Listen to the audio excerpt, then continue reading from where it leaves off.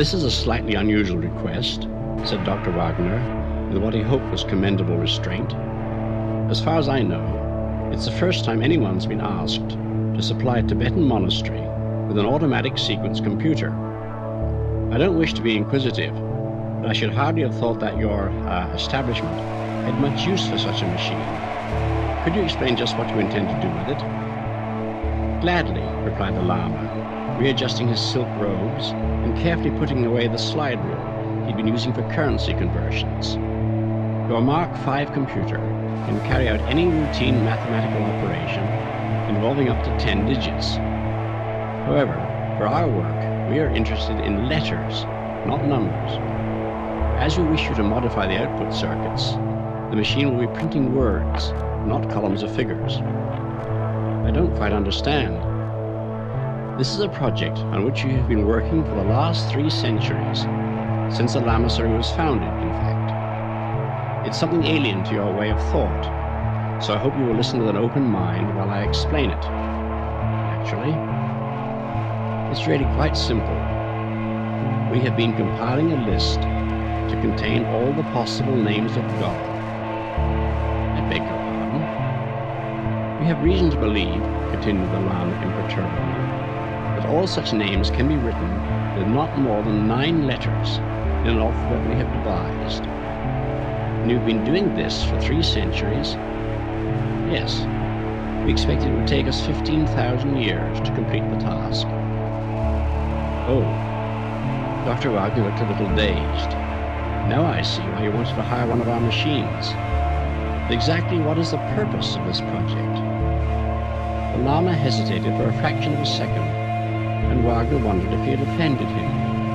If so, there was no trace of annoyance in the reply. Call it ritual if you like, but it's a fundamental part of our belief. All the many names of the Supreme Being, God, Jehovah, Allah, and so on, they are only man-made labels.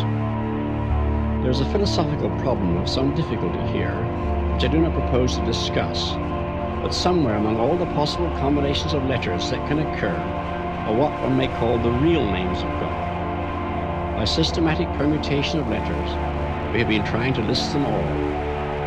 I see. We've been starting at AAAAAAA and working up to ZZZZZZZ. Exactly though we use a special alphabet of our own. Modifying the electromatic typewriters to deal with this is, of course, trivial. A rather more interesting problem is that of devising suitable circuits to eliminate ridiculous combinations. For example, no letter must occur more than three times in succession. Three? Surely you mean two. Three is correct. I'm afraid it would take too long to explain why, even if you understood our language. I'm sure it would, said Wagner hastily. Go on. Luckily, it would be a simple matter to adapt your automatic sequence computer for this work, since once it has been programmed properly, it will permute every letter in turn and print the result. What would have taken us 15,000 years, it will be able to do in a hundred days. Dr. Wagner was scarcely conscious of the faint sounds from the Manhattan streets far below he was in a different world, a world of natural, not man-made mountains. High up in the remote aeries, these monks had been patiently at work, generation after generation, compiling their lists of meaningless words. Was there any limit to the follies of mankind? Still, he must give no hint of his inner thoughts. The customer was always right. There's no doubt, replied the doctor, that we can modify the Mark V to print lists of this nature. I'm much more worried about the problem of installation and maintenance. Getting out to Tibet in these days is not going to be easy. We can arrange that. The components are small enough to travel by air. That is one reason why we chose your machine. If you can get them to India, we'll provide transport from there. And you want to hire two of our engineers? Yes, for the three months that the project should occupy. I've no doubt that personnel can manage that. Dr. Wagner scribbled a note on his desk pad. There were just two other points. Before he could finish the sentence, the Lama had produced a small slip of paper. This is my certified credit balance at the Asiatic Bank. Thank you. It appears to be um, adequate. Uh, the second matter is so trivial that I hesitate to mention it, but it's surprising how often the obvious gets overlooked. What source of electrical energy have you? A diesel generator providing 50 kilowatts at 110 volts. It was installed about five years ago and is quite reliable. It's made life at the Lamasery much more comfortable, but of course, it was really installed to provide power for the motors driving the prayer wheels. Of course, echoed Dr. Watt. I should have thought of that.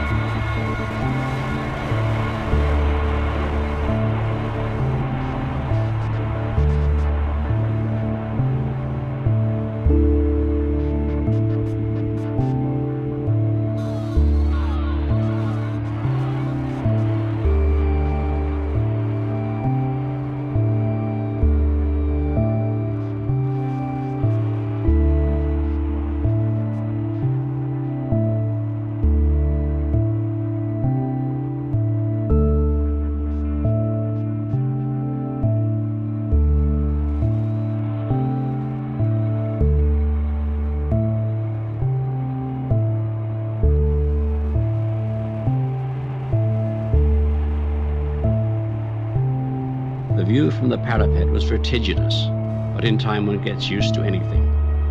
After three months, George Hanley was not impressed by the 2,000 foot swoop into the abyss or the remote checkerboard of fields in the valley below.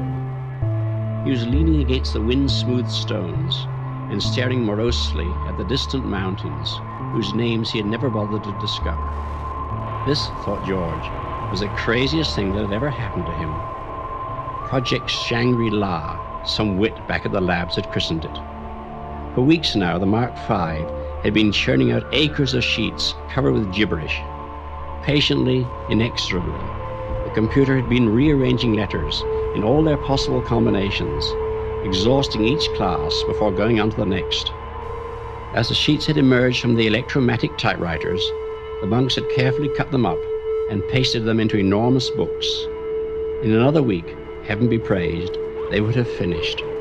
Just what obscure calculations had convinced the monks that they needn't bother to go on to words of 10, 20, or 100 letters, George didn't know. One of his recurring nightmares was that there would be some change of plan, and that the High Lama, whom they naturally called Sam Jaffe, though he didn't look a bit like him, would suddenly announce that the project would be extended to approximately AD 2060. They were quite capable of it. George heard the heavy wooden door slam in the wind as Chuck came out onto the parapet beside him. As usual, Chuck was smoking one of the cigars that made him so popular with the monks, who, it seemed, were quite willing to embrace all the minor and most of the major pleasures of life. That was one thing in their favor. They might be crazy, but they weren't blue noses. Those frequent trips they took down to the village, for instance. Listen, George, said Chuck urgently. I've learned something that means trouble. What's wrong? Isn't the machine behaving? That was the worst contingency George could imagine. It might delay his return, and nothing could be more horrible. The way he felt now, even the sight of a TV commercial would seem like manna from heaven. At least it would be some link with home. No, it's nothing like that. Chuck settled himself on the parapet, which was unusual because normally he was scared of the drop. I've just found what all this is about. What do you mean? I thought we knew. Sure, we know what the monks are trying to do, but we don't know why. It's the craziest thing. Tell me something new, growled George. But old Sam's just come clean with me. You know the way he drops in every afternoon to watch the sheets roll out? Well, this time he seemed rather excited, at least as near as he'll ever get to it. When I told him that we were on the last cycle, he asked me in that cute English accent of his, if I'd ever wonder what they were trying to do. I said, sure, and he told me. Go on, I'll buy it. Well, they believe that when they have listed all his names, and they reckon there are about nine billion of them, God's purpose will be achieved. The human race will have finished what it was created to do, and there won't be any point in carrying on. Indeed, the very idea is something like blasphemy. And what do they expect us to do? Commit suicide? There's no need for that. When the list's completed, God steps in and simply winds things up. Bingo. Oh, I get it. When we finish our job, it will be the end of the world. Chuck gave a nervous little laugh. That's just what I said to Sam. And do you know what happened? He looked at me in a very queer way, like I'd been stupid in class, and said, It's nothing as trivial as that. George thought this over for a moment. That's what I call taking the wide view, he said presently. What do you suppose we should do about it? I don't see that it makes the slightest difference to us. After all, we already knew that they were crazy. Yes, but don't you see what may happen? When the list's complete, and the last trump doesn't win, whatever it is they expect, we may get the blame. It's our machine they've been using. I don't like the situation one little bit. I see, said George slowly. You've got a point there. This sort of thing's happened before, you know. When I was a kid down in Louisiana, we had a crackpot preacher who once said the world was going to end next Sunday. Hundreds of people believed him, even sold their homes. Yet when nothing happened, it didn't turn nasty, as you'd expect. They just decided that he made a mistake in his calculations and went right on believing. I guess some of them still do. Well, this isn't Louisiana, in case you hadn't noticed. There are just two of us, hundreds of these monks. I like them, and I'll be sorry for old Sam when his life work backfires on him. But all the same, I wish I was somewhere else. I've been wishing that for weeks, but there's nothing we can do until the contract's finished and the transport arrives to fly us out. Of course, said Chuck thoughtfully, we could always try a bit of sabotage. Like hell we could. That would make things worse. Not the way I meant. Look at it like this. The machine will finish its run four days from now, on the present 20 hours a day basis. Transport falls in a week.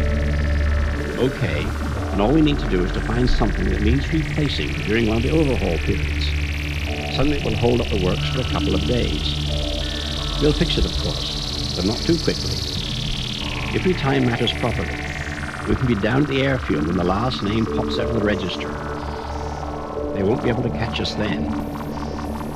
I don't like it, said George. It'll be the first time I ever walked out on a job. Besides, it would make them suspicious. No, I'll sit tight and take what comes. I still don't like it, he said, seven days later, as a tough little mountain ponies carried them down the winding road. And don't you think I'm running away because I'm afraid?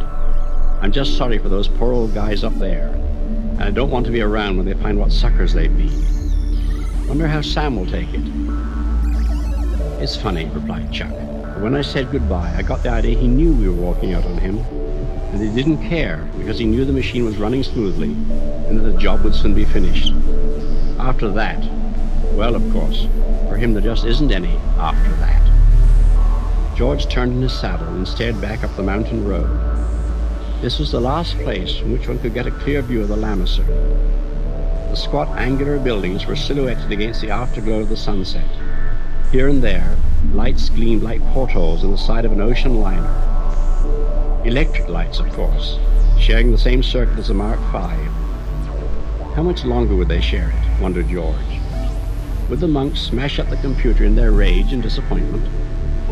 Would they just sit down quietly and begin their calculations all over again? He knew exactly what was happening up in the mountain at this very moment. The High Lama and his assistants would be sitting in their silk robes, inspecting the sheets as the junior monks carried them away from the typewriters and pasted them into the great volumes. No one would be saying anything. The only sound would be the incessant patter, the never-ending rainstorm of the keys hitting the paper. The Mark V itself was utterly silent as it flashed through its thousands of calculations a second. Three months of this, thought George, was enough to start anyone climbing up the wall. There she is, called Chuck, pointing down into the valley. Ain't she beautiful? She certainly was, thought George. The battered old DC-3 lay at the end of the runway like a tiny silver cross. In two hours, she would be bearing them away to freedom and sanity. It was a thought worth savoring like a fine liqueur. George let it roll round his mind as the pony trudged patiently down the slope. The swift night of the high Himalayas was now almost upon them. Fortunately, the road was very good, as roads went in this region, and they were both carrying flashlights. There was not the slightest danger, only a certain discomfort from the bitter cold. The sky overhead was perfectly clear and ablaze with the familiar, friendly stars. At least there would be no risk, thought George, of the pilot being unable to take off because of weather conditions. That had been his only remaining worry. He began to sing, but gave it up after a while. This vast arena of mountains, gleaming like whitely hooded ghosts on every side, did not encourage such ebullience. Presently George glanced at his watch. Should be there in an hour, he called back over his shoulder to Chuck. Then he added in an afterthought, Wonder if the computer's finished its run. It was due about now. Chuck didn't reply, so George swung round in his saddle. He could just see Chuck's face, a white oval turned towards the sky. Look, whispered Chuck, and George lifted his eyes to heaven. There is always a last time for everything. Overhead, without any fuss, the stars were going out.